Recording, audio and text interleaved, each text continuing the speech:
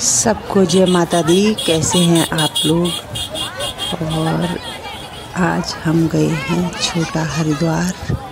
इसे छोटा हरिद्वार कहते हैं। ये मोहन नगर से करीब करीब तीस किलोमीटर दूर है और मुरादनगर में पड़ता है। और बहुत भीड़ रखी थी। मूर्ति विसर्जन करने बहुत सारे लोग आए थे।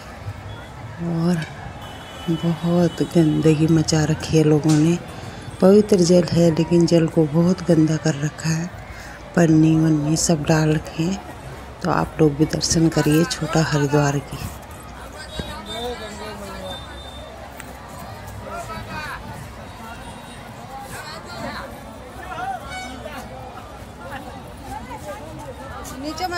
जय गंगा मैया।